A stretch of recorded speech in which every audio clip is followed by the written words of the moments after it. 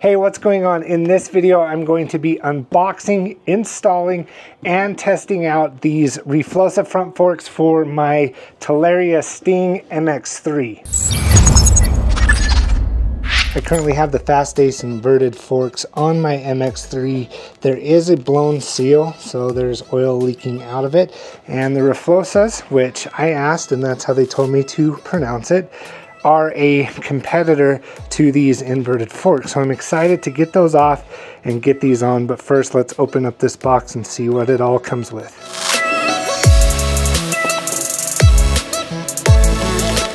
Wow, check this out. I don't know if this will come with every model, but there is a pretty official looking inspection sheet that is right on top here. Got the instruction manual, probably maintenance, half in English, half in Chinese, and there you have it. I don't know where to start.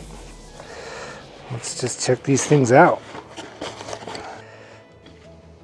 So RFlo-Xa sent me the FCG 31 RVP Pro with a progressive spring inside, which is a 45 to 60 pound. I believe that that's the most middle ground for a stiff suspension and a more fluid suspension, which I think will fit my riding style and weight perfectly. Well, there's not much to unbox, so I guess the next step is to install it on my Talaria Sting. Let's start with getting the Fast Ace forks off of here.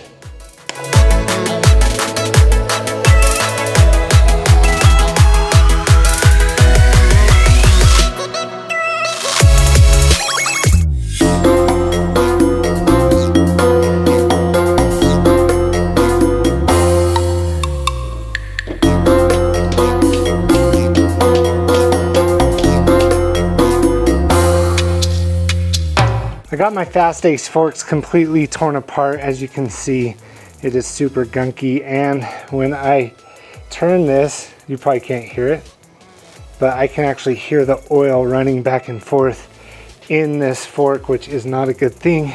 And that's because a bunch is leaked out because of a blown seal, which I think the Fast Ace forks are known for. You can get upgrades for these. You can buy upgraded forks through various dealers.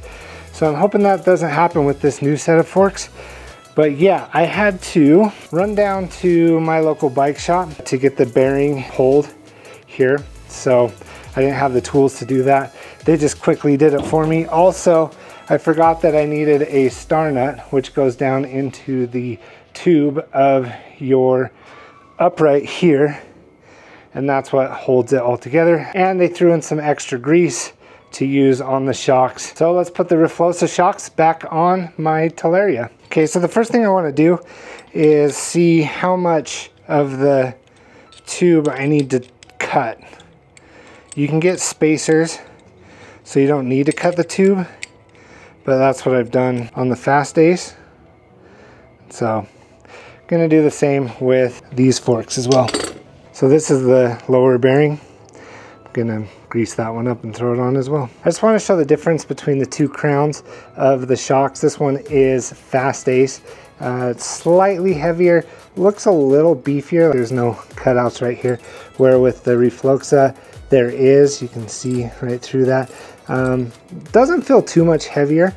I'm sure this one will hold up just fine. Another thing that I like about this one though is that it actually has two screws to clamp the suspension on, whereas this one only has one from Fast Ace, so that might make a difference. Also, they give the torque in Newton meters there, so you know how much to torque it. This one was just a guessing game. Anyway, I'm gonna get that pipe measured so I can cut it, and then I will throw this on.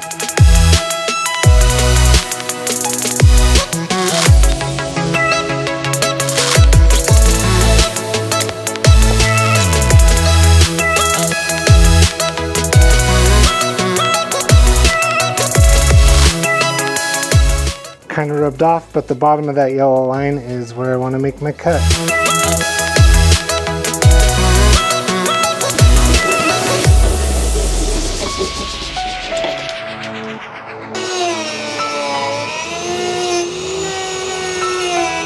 So if you have the right tools, it makes stuff like this a lot easier. Like for instance, setting this bearing. There are tools for this as well.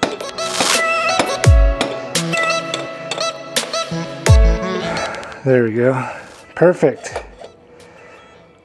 Because of the tight fit, it holds in place. And this is where it'd be nice to have two people to help. Okay, so I'm gonna make sure that these are nice and even with each other. Just kind of, kind of gonna eye it, but it should be pretty close.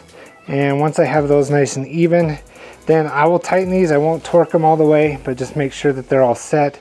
And then we'll throw on the tire and move forward.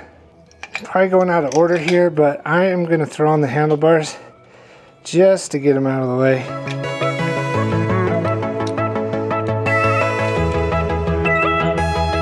All right, let's do the wheels.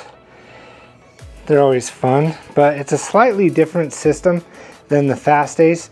Uh, the axle actually has a fatter end on the right hand side and then you screw it in tight on the left hand side there. And so you're really relying on these bolts in the front to keep it tight.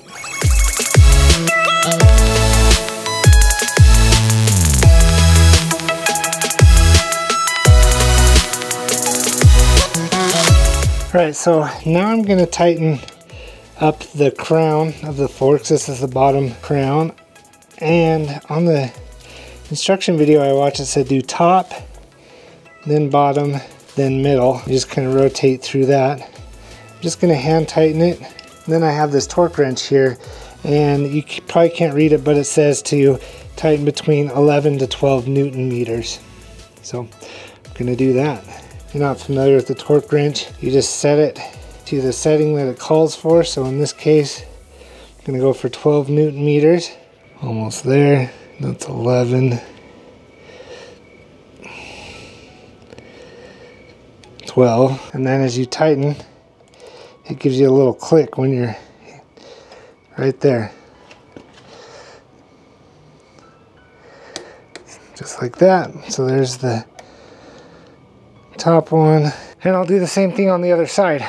And I'll do the same for these ones up top here. The top ones say 12 to 13 newton meters, so I'm gonna go 13. Might as well hit this one in the back. It doesn't have a marking, but we'll go 13 on it. Oh, it's already there. Good enough. So you probably shouldn't do it this way, but the guy at the bike shop told me just grab the 5 mil bolt for your star nut that goes down in the tube and use that to hammer it in. So I have a bolt in there that I don't need and I'm just going to kind of use my mallet and hammer that in there. Seems to be working. Well, kinda. I want to make sure it goes in straight. That's it's not going in straight. So just gotta be careful about. Bike shops have a tool for this. Again, I'm not a professional. So I'd recommend getting a professional to do this. But for what I got going on, this seems to be working. So the hammer seems to be doing the trick. I just don't want to damage anything on the star nut. But we're almost there. And see that it's now down in there. And for the finishing touch, we put the stem cap on and that ties everything all together and I have myself a new set of forks.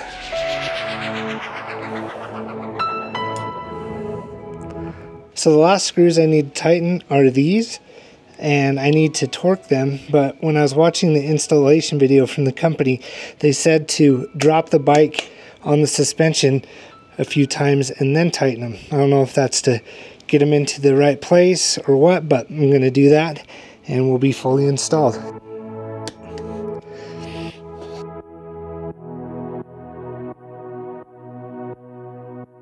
I got my new front forks installed, but it's dark outside. So I'm gonna mess around with the adjustments, you know, the spring preload and the rebound, and I will take this out for a test ride tomorrow.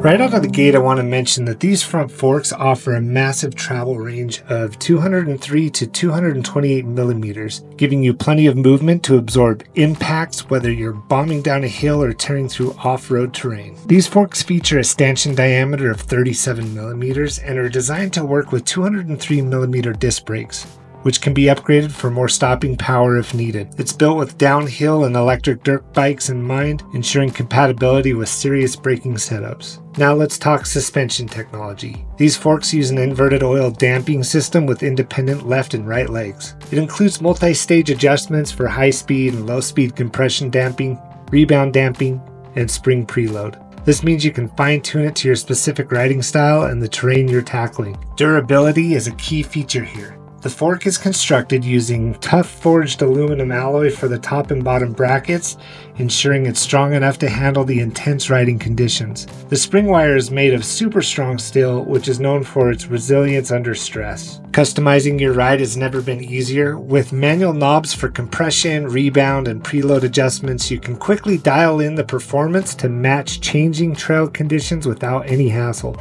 And when it gets really rugged, the fork's oil pressure bottom out design kicks in to provide extra support at the end of the travel. This helps absorb hard hits, giving you better stability and reducing impact during aggressive riding. The internal damping system includes dual compression valve plates for reliable performance. It's also equipped with high quality, low friction shock absorber oil that maintains its damping performance even in extreme temperatures, ensuring smooth riding no matter the conditions. One of the standout features is the spring customization. You can choose from 45 pounds, 60 pounds, or a progressive 45 to 60 pound spring, depending on your weight and riding needs. I chose the progressive spring for my riding style and weight. With a center distance of 750 to 800 millimeters, a tube diameter of 37 millimeters, and precision machine triple clamps, the RFlo-Xa FCG 31 RVP forks are built for serious riders who demand performance and customization. Whether you're racing downhill or hitting jumps, these forks have you covered.